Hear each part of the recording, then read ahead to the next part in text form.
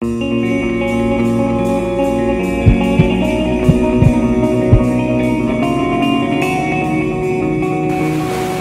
if? What if problems were always gifts? What if every single problem really was a gift in your life? What if every problem you ever had was life happening for you, not to you? Darkest place, when you feel like all is lost, when you think there's no way to turn it around, remember this. Victory is near.